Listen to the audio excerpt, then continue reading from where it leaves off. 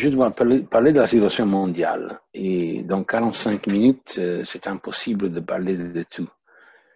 Euh, parce qu'il y a, euh, ce n'est pas la situation d'il y a 10 ou 20 ans. Il y a beaucoup de choses qui passent. Il y a une crise mondiale du capitalisme qui a un impact sur, tous les pays. Et nous avons des événements historiques devant nous, des mouvements dans tout le monde, dans l'Amérique latine, dans les États-Unis, en France, euh, en Afrique, en Chine, en Inde, dans, tout le monde. Et je vais tenter de faire une analyse euh, générale de la crise mondiale et des perspectives de la lutte de classe. Euh, nous sommes devant euh, la crise, je pense qu'on peut dire tranquillement, la, plus sérieuse, au moins depuis les années 30. Et elle peut, pourrait se transformer dans une crise plus profonde, parce que cette crise est vraiment globale, parce que les, euh, dizaines d'années euh, de, de, développement du capitalisme ont finalement ont, euh, globalisé le système. Il n'y a pas un coin du monde qui ne fait pas de l'économie capitaliste. Et ça signifie que la crise va euh, euh, avoir effet sur, tous les pays.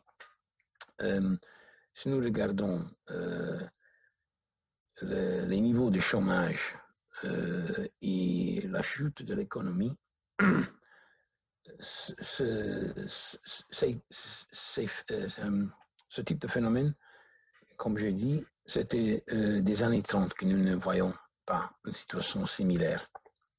La Chine, qui, juste, qui jusqu'il y a euh, une dizaine d'années était un facteur de stabilité, était un élément qui euh, produisait euh, stabilité économique parce qu'il y avait une grande croissance de l'économie euh, chinoise. Maintenant, la Chine euh, a commencé à se transformer dans un facteur de insta. Euh, et toute la crise que nous avons devant nous euh, était déjà préparée auparavant. l'économie mondiale était dans une condition tellement fragile qu'il suffisait un accident, entre virgules, un accident, euh, comme le coronavirus ou autre élément, qui peut, comme euh, Brexit par exemple.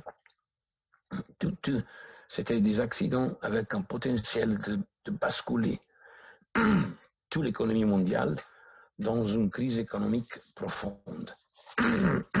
Excusez-moi. Euh, quand je suis entré dans la politique, que c'était l'année dernière, euh, il y avait la crise du pétrole de 73-74, après la guerre euh, au Moyen-Orient.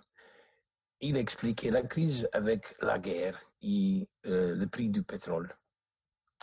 Parce qu'ils ne veulent pas euh, admettre que c'est une crise du capitalisme, que c'est une conséquence du mécanisme du capitalisme. Il n'y a pas euh, un élément que c'est la cause. Ils cherchent une cause extérieure au système.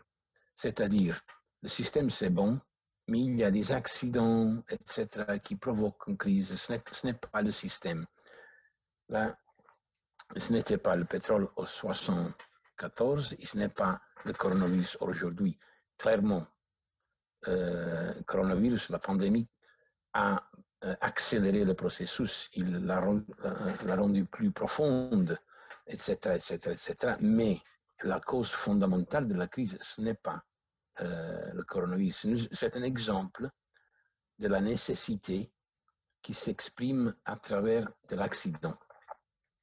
Euh, le coronavirus euh, est un, déclencheur hein, qui a euh, accéléré un processus qui, était déjà euh, commencé c'est comme un homme qui est au bord de, la falaise. Hein.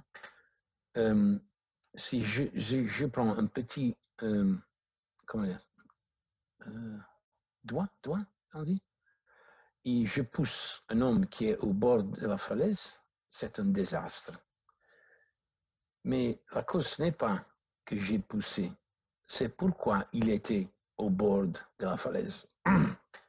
Parce que s'il était un kilomètre de la falaise, euh, il va tomber, il va se reprendre tranquillement. Le problème, c'est que l'économie mondiale était déjà jusqu'au bord d'une euh, crise. Si on rappelle la situation avant la pandémie, on rappelle qu'il y avait des mouvements incroyables, Algérie, Soudan, Liban, Chili et, d'autres pays, des mouvements insurrectionnels dans beaucoup de pays. Il parlait d'une quarantaine de pays avec la perspective de lutte euh, euh, dans euh, la prochaine année, avant de la pandémie. C'était une crise qui était déjà en marche. La pandémie, clairement, a accéléré tout le processus. Euh, et, euh, comme je dis, l'économie était déjà euh, ralentie, elle ralentissait déjà avant, parce que c'était le système capitaliste qui était arrivé à, ses limites naturelles. Euh, mais clairement, la crise actuelle, la crise sanitaire, la crise de, la pandémie, a rendu la situation pire. L'Organisation internationale du travail, déjà à avril, après plus ou moins un mois, deux mois de, la, pandémie, il avait calculé qu'un 1,6 milliard de travailleurs dans le secteur informel euh, aurait perdu 60% de, de son euh, comment dire, euh, entrée, de, ses entrées, de, de ses salaires euh, au début de cette crise. Nous regardons comment la bourgeoisie était alarmée. Il y a un article de mai, de mai du Financial Times qui commence avec cette phrase. Et c'est la, première phrase, c'est à moins d'une révolution communiste, il est difficile d'imaginer comment les gouvernements auraient pu intervenir sur les marchés privés aussi rapidement et profondément qu'au cours des deux derniers mois de, euh, de lockdown.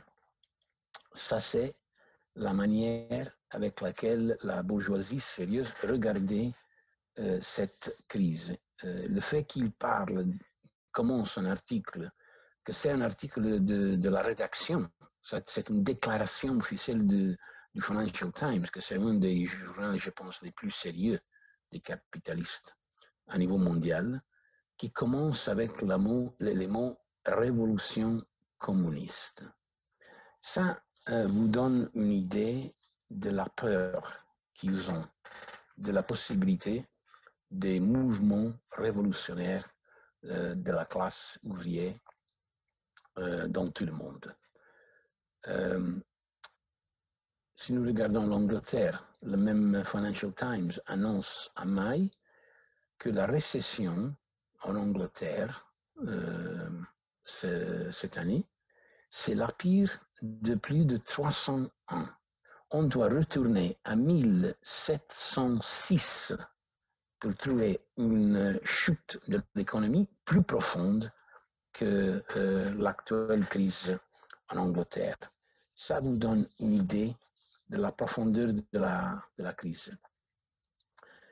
Euh, en 2020, euh, le commerce mondial va se baisser, se réduire de plus de 9%. 9%. il pense que l'année prochaine, elle va se reprendre à 7%, mais il admet qu'elle ne va reprendre le niveau d'avant la pandémie c'est naturel, naturel parce qu'avant la pandémie, il y avait déjà un processus de ralentissement euh, de l'économie.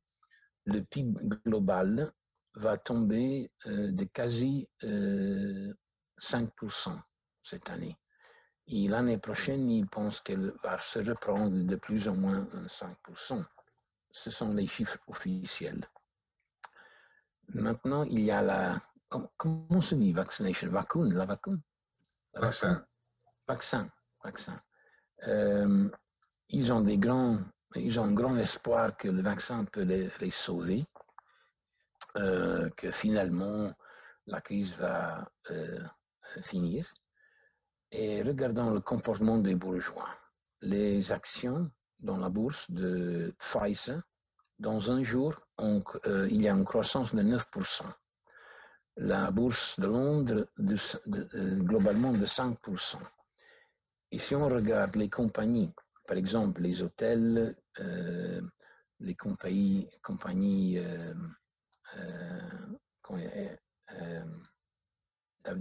de, l'aviation, euh, ils ont euh, augmenté la, valeur à, la bourse, mais par exemple, Zoom, que nous utilisons maintenant, euh, la valeur s'est baissée parce qu'ils ont la perspective que après la pandémie, Zoom ne va avoir les mêmes clients que maintenant. C'est tout un calcul où faire des profits rapidement. Euh, ça, c'est le comportement, normal des capitalistes. Mais il y a un grand problème. C'est l'accumulation de la dette. Euh, ils ont calculé, la Banque centrale européenne a calculé que la pandémie euh, peut produire 1,4 trillion d'euros de, comment on dit, de dette qui ne peut pas être payée. Je ne sais quoi, insolvent je, pense que se dit, que c'est plus qu'au 2008. Ça signifie que pense que la crise économique va être pire que, que 2008. Euh, nous avons cette grande accumulation de dettes. Euh, c'est dettes privées des familles, dettes des corporations, des, compagnies des, et, des, et des familles. Euh, un des problèmes qu'ils ont, que sa dette euh, euh, n'est pas utilisée pour produire euh, de la richesse comme investissement dans la production, etc. elle ne va produire, par exemple, une augmentation de la, productivité du travail. et ça, c'est parce que, particulièrement dans l'Europe et les États-Unis, la dette est littéralement euh, payer les familles pour survivre, pour acheter les minimums qu'ils ont besoin pour survivre comme famille. Et ce n'est pas euh, euh, argent qui va dans les investissements. Euh, et clairement, nous sommes marxistes et nous, nous, nous savons qu'après une crise, il y a une récupération. Il il n'existe pas la récession permanent ou la crise permanente. Euh, c'est naturel que le capitalisme euh, a des, euh, un cycle, mais on doit regarder pas seulement la récupération immédiate, le cycle immédiat, on doit regarder la condition générale du système. Parce que n'oublions pas que pendant les années 30, il y avait des moments euh, de récupération de l'économie.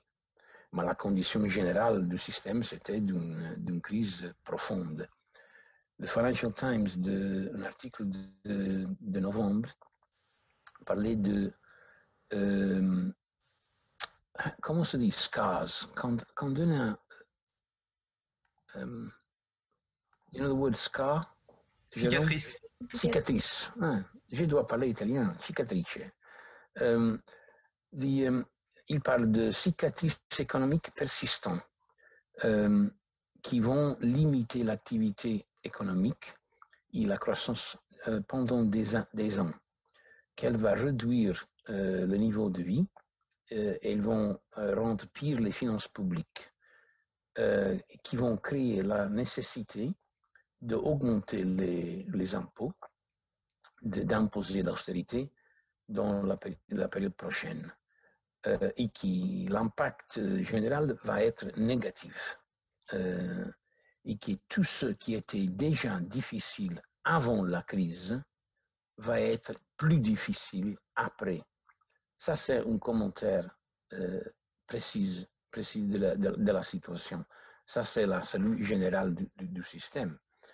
Euh, regardons des, chiffres. La dette globale dans le premier, les premiers trois mois de, de l'an euh, est arrivée à 331% du PIB.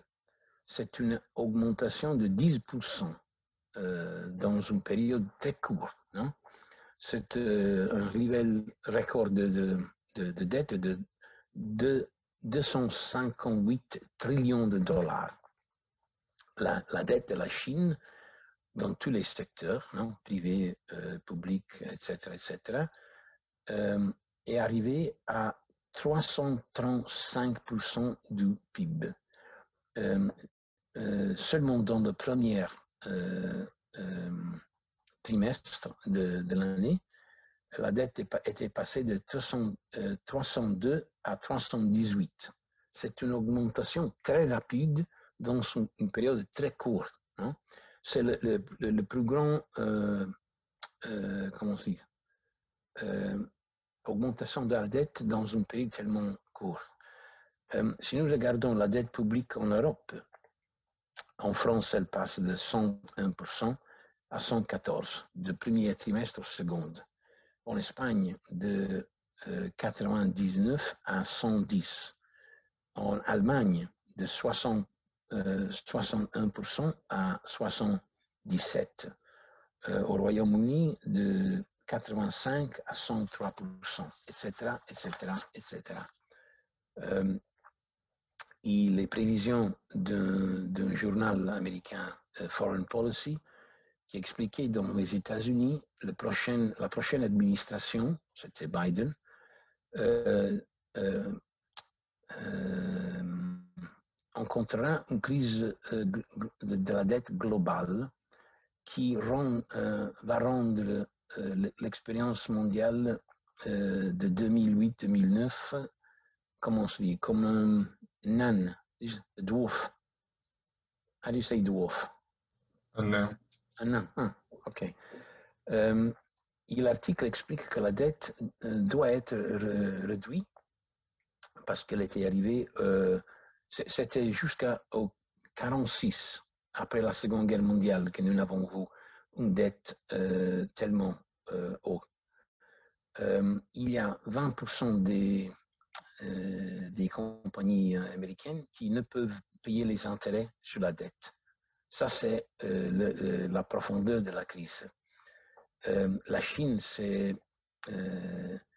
est entrée dans cette situation. Avec sa croissance, elle va prendre plus, comment se dire, euh, elle, euh, c'est un compétiteur hein, aux États-Unis, à l'Europe, euh, c'est l'unique, c'est la seule économie avancée qui s'est déjà récupérée après la crise. Et elle avance dans le, marché mondial.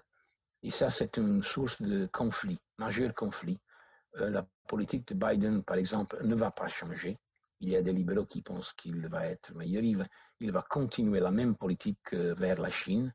La différence qu'il a, c'est que Biden cherche de, de, de renforcer l'alliance avec l'Europe pour faire un front unique des États-Unis et l'Europe contre la Chine et contre la Russie.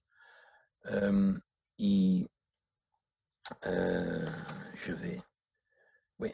Euh, tout ça signifie que après la pandémie, ils vont être obligés à appliquer une politique d'austérité. Maintenant, la ligne générale du Fonds monétaire international, de la Banque mondiale, etc., c'est de continuer avec la dette pendant une période. Et pourquoi?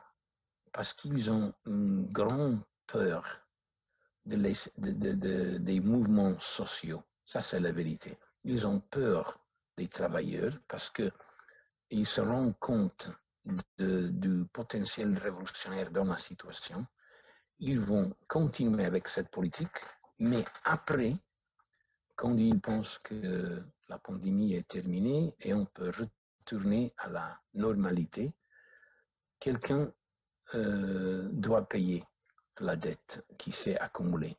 Et par exemple, le gouvernement britannique a déjà annoncé que dans le secteur public, sont 5 millions, 5,5 millions de travailleurs, que sont le 17% de la force travail en Angleterre. Ils vont congeler les salaires pendant trois ans.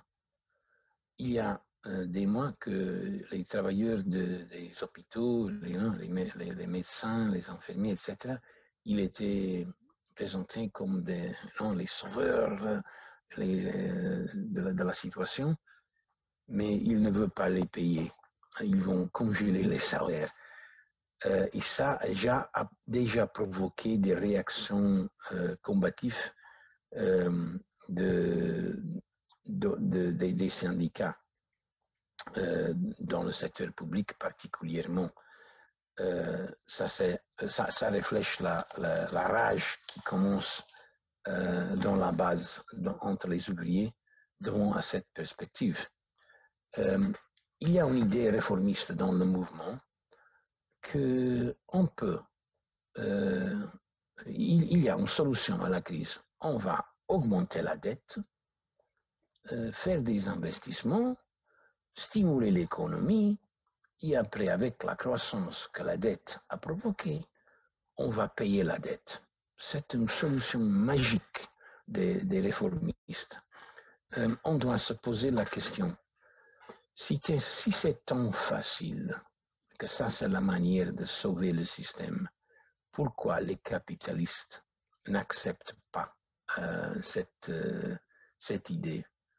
Pourquoi il insiste que les dettes doivent être payées euh, Parce qu'il y a le monde de la réalité et le monde des songes des réformistes qui pensent qu'il y a des solutions faciles.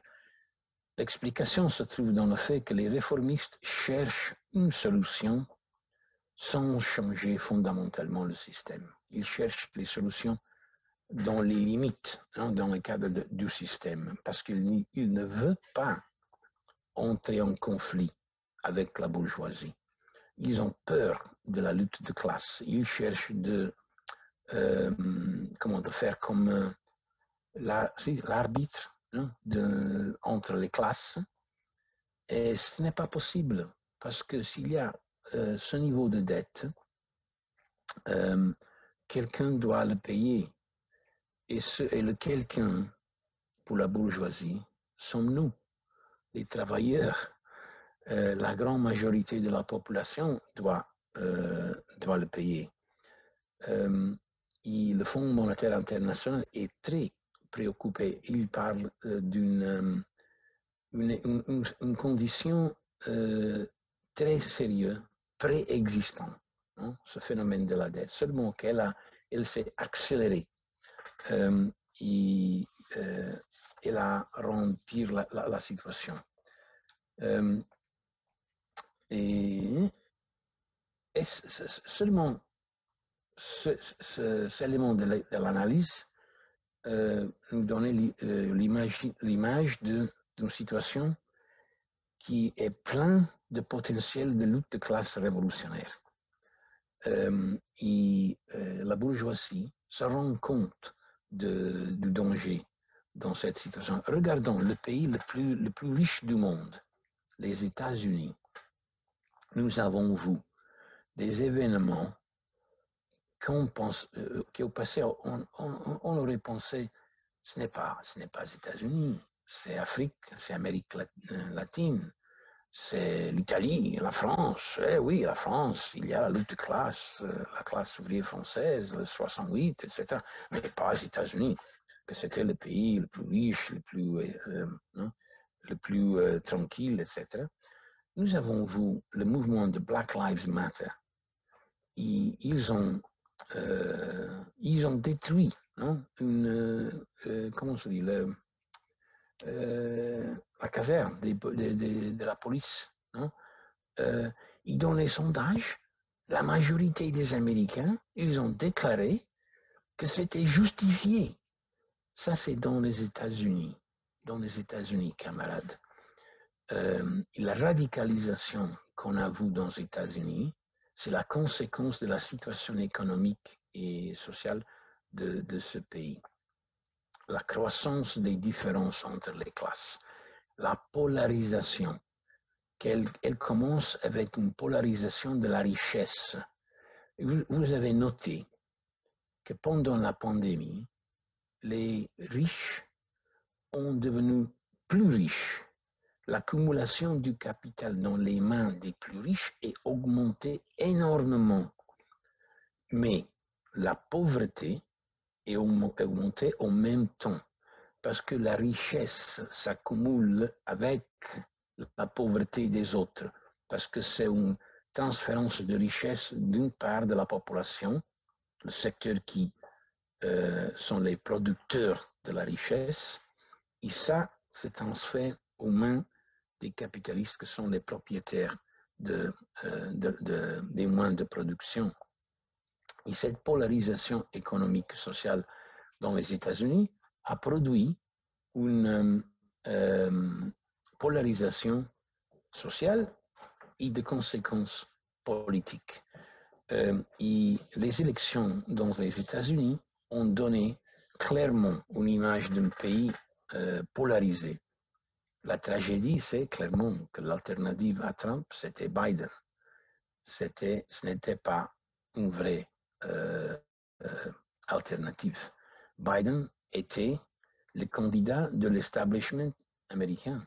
La grande bourgeoisie américaine voulait Biden président parce qu'ils ont besoin d'un président qui euh, ne provoque pas avec des mots comme euh, Trump, qu'il veut euh, appliquer la politique nécessaire, mais avec euh, douceur, avec diplomatie, avec un beau visage qui se présente.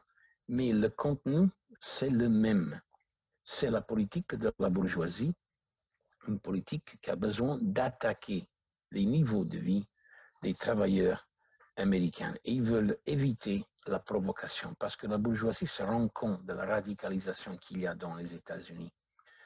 Mais c'est un phénomène international. Euh, la bourgeoisie a un problème. Comment gouverner la société euh, quand elle a perdu le contrôle des instruments traditionnels. traditionnels? Par exemple, en Angleterre, ils ont perdu le contrôle du Parti conservateur et en même temps, ils avaient perdu le contrôle du Parti euh, travailliste, euh, de Labour Party. Euh, Boris Johnson, ce n'est pas l'homme que la bourgeoisie voulait. Il est, c'est un bouffon qui, par accident, il est devenu dirigeant du parti. Il pense seulement à sa carrière personnelle. Il veut être le premier ministre. Ça, c'est tout. La bourgeoisie euh, a besoin d'un accord avec l'Europe, mais Boris Johnson pense à sa carrière qui dépend de la base de ces fous qui sont les militants du Parti conservateur, euh, très réactionnaires, qui, euh, qui décident qui est le dirigeant. Euh, ils ont parti que c'était le parti traditionnel de la bourgeoisie qui n'applique pas directement tous les intérêts de la bourgeoisie, que c'était comme minimum un accord avec l'Europe sur le commerce. Je vais donner les chiffres de le désastre qui signifie Brexit plus, plus avant. Mais c'était la même chose en États-Unis. Trump, euh, qui a appliqué une politique, euh, une méthode de gouverner qui provoque euh, la différenciation de classe. Dans les autres pays, c'est la même chose. En Angleterre, le Parti travailliste était la, seconde équipe. Quand les conservateurs y perdent, les, les social-démocrates de droite, euh, euh, comme euh, l'actuel dirigeant Starmer, ils, ils entrent dans la scène pour sauver la situation pour la bourgeoisie. Mais ils ont vu un processus dans les derniers cinq ans de Corbyn qui a donné une expression à la polarisation à gauche qu'il y avait dans le pays. Et maintenant, il y a une guerre dans le Parti travailliste pour reprendre le contrôle du parti. La, gauche, la, la, la, la droite euh, euh, cherche de reprendre le contrôle. Pourquoi? Parce que la bourgeoisie a besoin de seconde équipe, parce que les sondages indiquent que le Parti conservateur va perdre euh, beaucoup de, de, votes ils ont besoin d'une alternative euh, qui peut continuer avec la même politique que la bourgeoisie veut euh, dans la situation. Ça explique les conflits dans les deux partis. La lutte de classe s'exprime maintenant dans le Parti travailliste, entre la lutte entre la gauche et la droite du, parti. Euh, par exemple, le fait que dans les élections de l'exécutif du Parti travailliste en Angleterre, c'est un système compliqué. Il y a les syndicats, il y a les sections locales, etc. Mais il y a neuf membres de l'exécutif qui sont élus par la base du parti. Et dans les neuf, cinq étaient de la gauche. Ça te donne une idée que Starmer est dirigeant, mais il y a une forte gauche dans la base du parti. Euh, 50 000 militants ont abandonné le parti parce que la droite continue à provoquer, provoquer, provoquer. Il veut provoquer jusqu'à toute la gauche abandonne le parti. Mais ce n'est pas fini, euh, le processus. La lutte continue. Il y a un processus d'une bataille dans le parti, que c'est une expression, comme j'ai dit, de la lutte de classe euh, générale dans, dans, le pays. Je vais retourner à la question du Brexit plus avant. Mais nous avons, dans le dernier, je, je n'ai pas beaucoup de temps, je peux seulement mentionner euh, ce que nous avons vu à Guatemala, euh, une vague de protestes dans toute l'Amérique centrale, euh, provoquée pour euh, de l'austérité que le Parlement voulait imposer, euh, la corruption générale du système, la polarisation de la richesse. Et nous avons vu les, événements dramatiques à Guatemala où ils ont attaqué le, le Parlement. Au Pérou, le, no, le 9 euh, novembre, euh, le président Martin Vizcarra obligé à abandonner. Une semaine plus tard, le gouvernement de euh, Marino qui tombe avec la pression du mouvement de masse. La même chose, extrême niveau de corruption.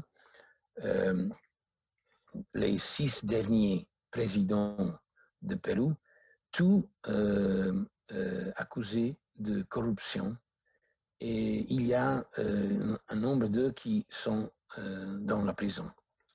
Euh, et nous, nous, avons vu cette, explosion de mouvement dans le Pérou. et je vais passer à la Chine. Ça, Pérou et Guatemala sont seulement deux exemples. Il y a plus, beaucoup d'autres exemples qu'on pouvait discuter. Discuter aujourd'hui de perspective mondiale nécessiterait pas un jour, une semaine de discussion pour discuter de toutes les, situations.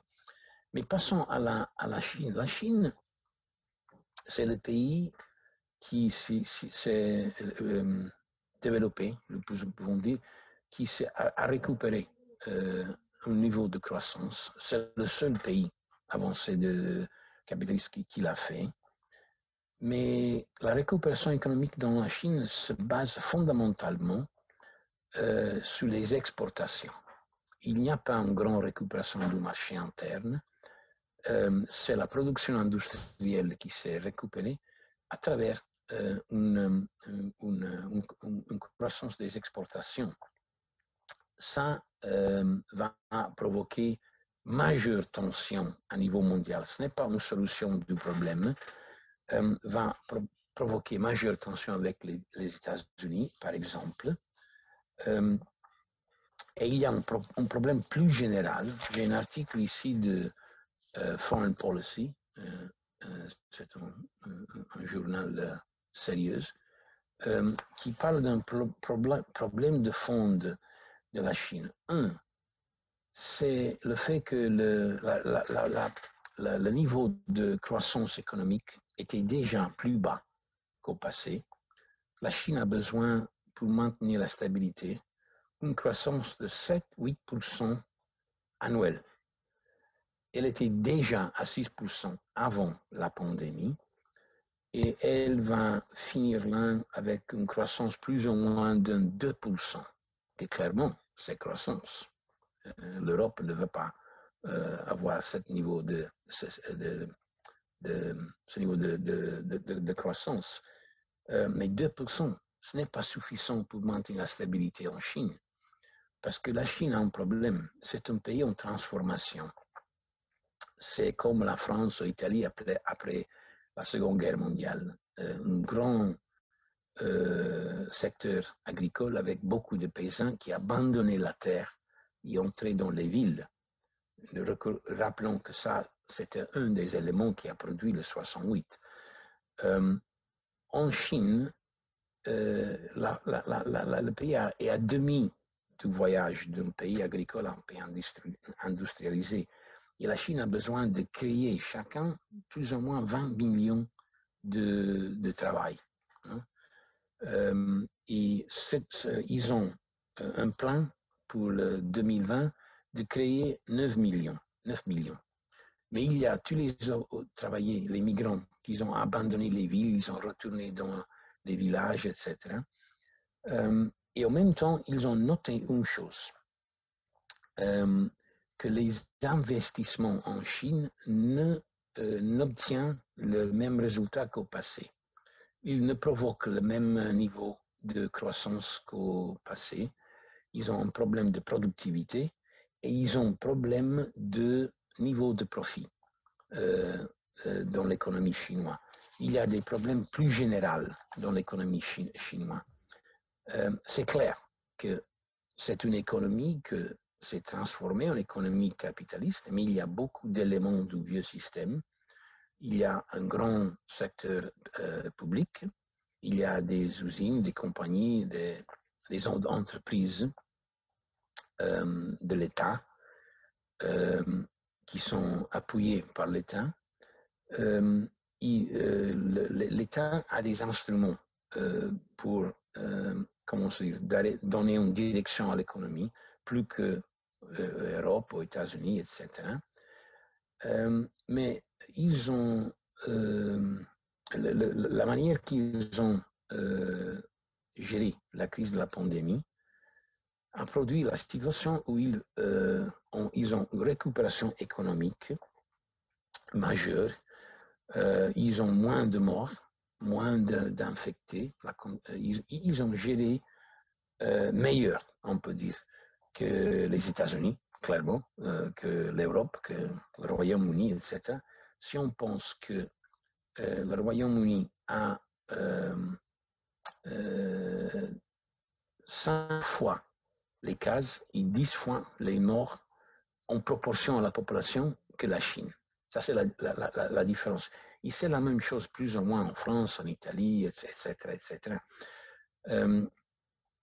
ça donne une idée de ce qu'on aurait pu faire avec autre politique. Mais ça, c'est autre question que je ne peux développer.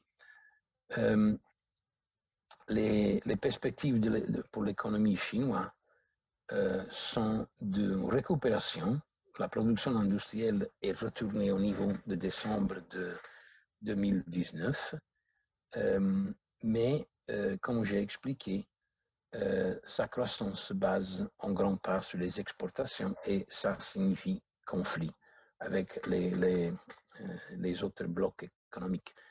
En même temps, nous avons l'Italie, euh, les, selon le, le, Fonds, le, Fonds monétaire international, l'Italie va avoir une chute de l'économie de plus ou moins 10-11%, la France 10%, Angleterre 10%, Canada 7%, États-Unis, plus ou moins 5%, Allemagne, 6%, Japon, 5%, et globalement une chute de l'économie de 4,4%.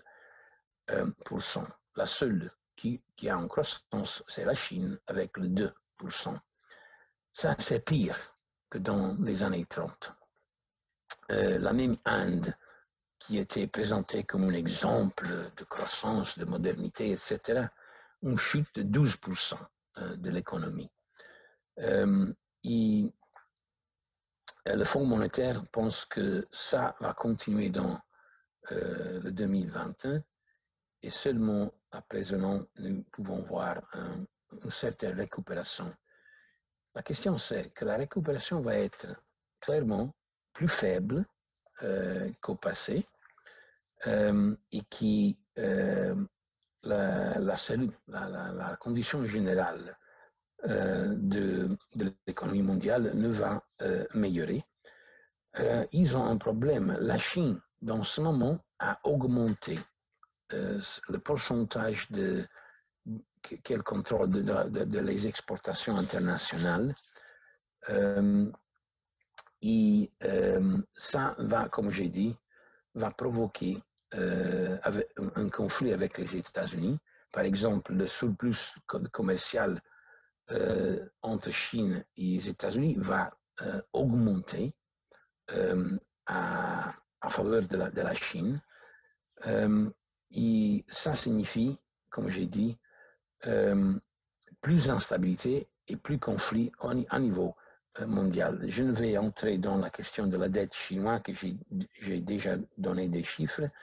Le problème du, euh, travail en Chine.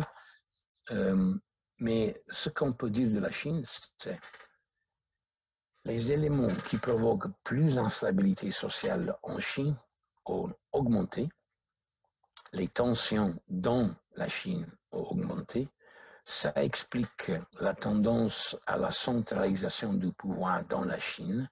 Ça explique le comportement de Xi Jinping qui a centralisé tous les pouvoirs dans ses mains. Ça explique le, la majeure contrôle sur la société chinoise. Il, il cherche de contrôler, de limiter le potentiel d'explosion sociale dans la Chine, mais ils ne peuvent pas l'éviter. Je ne peux pas entrer, mais il y a un article sur marxisme.com qui explique le niveau de radicalisation qu'il y a dans la jeunesse chinoise, euh, les discussions qu'ils font, le retour à, idées socialistes, etc., anticapitalistes. Ça, c'est le résultat de la situation que nous avons en, en, en Chine. Je, je, dois sauter les éléments. Si nous passons à la Russie, la, Russie est en crise. Euh, second trimestre, pratiquement 10% de chute de l'économie le PIB annuel euh, va être moins 5% cette année. il, est, il, y a, il, pense d'avoir une certaine récupération, mais elle va être lente. la Russie est entrée dans cette situation déjà en, en crise par exemple, la, la, la, croissance économique, la croissance du PIB euh, moyenne, le moyenne de croissance dans les derniers euh, sept ans était de 0,7%. Pratiquement, c'est une, stagnation, stagnation de l'économie euh, russe. Et en même temps, une chute de popularité de Poutine. Je dis Poutine, Poutine. c'est un Poutine, c'est un Poutine. Euh, il était à un certain point, il avait une popularité de 85%, il est tombé à 60%, mais j'ai vu un sondage qui a révélé qu'il était à moins de 40% après qu'un fonctionnaire du gouvernement de Poutine a intervenu et a obligé cette, euh, euh, comment on se dit, cette entreprise de sondage à changer la méthode de, de, de 35 37%, il est retourné à 60% magiquement. C'est clair qu'il y a un processus de changement de conscience dans la Russie. Euh, il y a des grands, grands problèmes euh, sociaux. Par exemple, euh, les familles qui ne peuvent payer le, comment se dit, le mortgage, le, comment se dit en France L'emprunt. Hein? Le crédit. Crédit et sont augmentés quatre fois. Hein, les familles qui ne peuvent payer, euh, le chômage est augmenté, etc., etc. Il y a tous les éléments d'une explosion de lutte de classe en certains points. Euh, le fait que l'Europe et les États-Unis, etc., ils ont euh, imposé des sanctions à la Russie on crée une situation où la Russie cherche plus collaboration avec la Chine. Euh, ils ont augmenté les, les connexions économiques. La Chine a besoin du, du gaz et pétrole euh, de la Russie. Ils ont fait des manœuvres militaires unies. Il y a un processus de, de, comment de de, de collaboration entre les deux pays euh, parce que la Russie a besoin d'éviter les effets des, sanctions euh, de l'Occident. Il y a autre élément. Euh, comme j'ai dit, il y a des accidents qui peuvent provoquer une crise mondiale. Et l'autre, c'est Brexit. L'impact du Brexit, Brexit c'est un élément qui peut pousser toute l'économie mondiale dans une profonde crise. Euh, maintenant, pendant notre réunion ici, il y a les dirigeants de l'Europe qui sont contre pour euh, négocier euh, un très improbable accord économique avec l'Angleterre.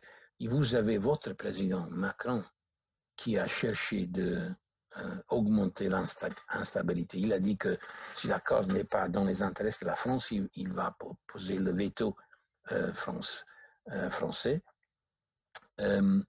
mais ils ont calculé qu'un Brexit, un no deal Brexit, peut être deux ou trois fois pire que l'impact du coronavirus. ça signifie que sans la pandémie, seulement Brexit pouvait être un élément euh, qui peut euh, lancer toute l'économie mondiale dans une profonde crise. Euh, l'impact pour l'Angleterre va être qu'elle va perdre 8, 8 points de pourcentage de PIB dans les prochains 20 ans. L'Angleterre peut perdre 14% de ses exportations vers l'Europe, que sont 32 milliards de dollars. Euh, que le 90% des produits importés en Angleterre peuvent euh, avoir des tarifs, des, des, impôts. Euh, maintenant, l'Angleterre exporte le 46% du total de ses exportations à l'Union européenne. Ils ont calculé qu'il y a pratiquement un demi-million de travail qui peuvent être détruits en Angleterre et 700 000 travail en Europe, Europe, Europe peuvent être détruits à cause de cette euh, no deal. L'Allemagne, euh, l'Allemagne, c'est le pays qui peut perdre de plus parce que c'est le pays le plus grand exportateur, la plus grande machine productive au cœur de l'Europe. Ils ont calculé que l'Allemagne peut perdre 176 000 travail la France, 80 000, la Pologne, la Pologne 78 000, Italie 72 la Chine peut perdre 90 000 euh, travail, l'Irlande 35 000, que c'est le 2 de, la force de travail de l'Irlande. Ces chiffres vous donnent une idée de l'impact général d'un no deal. Ici, nous, mettons, le Covid, la crise de la pandémie, euh, le ralentissement qu'il y euh, y avait déjà avant la pandémie, et maintenant, Brexit sans un accord, on peut voir comme tout cela peut lancer l'Europe dans une profonde crise économique. Et l'Europe, c'est un des plus grands marchés à niveau mondial. C'est un marché très important pour la Chine, par exemple ça peut ralentir déjà cette, cette, croissance réduite de la Chine. Il peut avoir un impact sur les États-Unis. C'est une, comment un, euh, un, élément, Brexit, qui provoque une crise européenne qui, à sa fois, provoque une crise plus générale à niveau mondial. Euh, et ça, c'est la, perspective plus générale. Tout ça, c'est une conséquence de la crise générale du, système. Ce n'est pas Brexit, ce n'est pas la pandémie, ce sont seulement des accélérateurs d'un processus. C'est la crise classique du système capitaliste que nous avons discuté beaucoup de fois. Je m'imagine que beaucoup, de camarades ont participé à des, groupes de discussion, etc., etc. Euh, mais c'est une crise classique et dans la crise politique, euh, économique, nous avons la crise politique, nous avons les éléments comme Boris Johnson, que c'est un bouffon, Bolsonaro, Modi en Inde, Trump euh, États-Unis. Euh, ils sont tous des, des, des, gens qui euh, ne représentent directement ce que la bourgeoisie voudrait. Euh, c'est un élément d'instabilité, mais en même temps, nous avons la faute d'analyse. Hein. Dans la gauche, il parle de, de, fascisme, le fascisme de Trump, le fascisme de Bolsonaro, le fascisme de Modi. Regardons, regardons camarades, ce qui passe en Inde, cet mouvement incroyable des paysans, les grèves générales avec 200 millions, 250 millions de travailleurs, les grèves générales plus grandes de toute l'histoire de l'humanité. Et au gouvernement, il y a maudit. En Brésil, euh, euh, Bolsonaro a perdu la popularité qu'il avait. Il, est, il, tente de lancer son parti. Il a besoin la loi brésilienne dit qu'on a besoin de 500 000 signatures pour lancer un parti. Il est à 120 000. Euh, il a, il, il, euh, dans les églises, ils ont euh, dit à, la population, allez euh, signer non, le, pour Bolsonaro, mais il écoute mais ils ne vont pas signer parce que la popularité de, euh, de Bolsonaro a, a, tombé à un niveau incroyable. Euh, ça, c'est euh, une expression de l'instabilité générale. Je vais rapidement rappeler le mouvement de la jeunesse en Nigérie, ce, grand mouvement de rage que nous avons vu. J'ai parlé de l'Inde, les, les, grands, les grands mouvements que nous avons vus là. Je me rappelle quand, quand Modi a gagné les élections, j'ai fait des discussions avec des, contacts en Inde et il était dans une dépression, ah, le fascisme. Ah, je disais, euh, regardez ce que nous avons vu en Brésil et autres pays, ça c'est le futur de l'Inde. Mais il pensait, non, non, c'est terrible, terrible. Il manquait une perspective marxiste, une analyse marxiste de la situation. Et nous ne sommes pas surpris pour le, les, mouvements de masse que nous regardons en Inde maintenant. Sans parler de la situation explosive en Chili, je n'ai pas le temps pour le développer, euh, euh, ou le mouvement en Liban que nous avons vu, rappeler la situation là, la chute économique, un désastre économique qui a provoqué un mouvement de masse, euh, la situation en Afrique du Sud, la, la, situation générale en Afrique, Algérie, Soudan, mais euh, Nigérie et, autres pays, euh, et l'impact général de cette situation. Euh, on peut faire une liste de les guerres, les guerres civiles dans le monde. La dernière, c'est l'Éthiopie, qui euh, peut se, euh, le pays se, pouvait se rompre selon les, différences euh, ethniques dans, le, pays. Euh, euh, les morts, la barbarie, Afghanistan, Yémen, Syrie, les morts donc, de, de, de, Kurdes en Somalie, seulement au Congo, 5-6 millions de morts dans les guerres.